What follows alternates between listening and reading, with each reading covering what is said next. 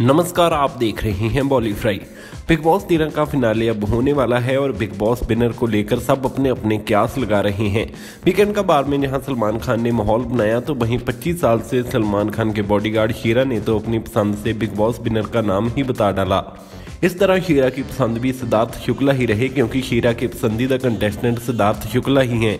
Big boss तेरह के fan पीर के मुताबिक शीरा ने बिग बॉस को लेकर कहा है, सिद्धार्थ शुक्ला मेरा पसंदीदा कंटेस्टेंट है। अगर मैं किसी लड़की या महिला के पास उनका पसंदीदा कंटेस्टेंट पूछूँ तो वह सिद्धार्थ शुक्ला का ही नाम लेंगी। दर्शकों के मुताबिक सिद्धार्थ को हरा पाना नामुमकिन है। इस तरह शीरा ने भी इशारों इशारों में बिग बॉस के संभावित विनर का नाम बता दिया है। वैसे भी फैंस साइट पर सिद्धार्थ शुक्ला का नाम का जादू खूब धूम मचा रहा है। बिग बॉस तेरह में अब सात खिलाड़ी रह गए हैं, जिनमें सिद्धार्थ शुक्ला, रश्मि देसाई, आरती सिंह आसिम रियाज, पारस छावड़ा शहनाज गिल और माहिरा शर्मा शामिल है।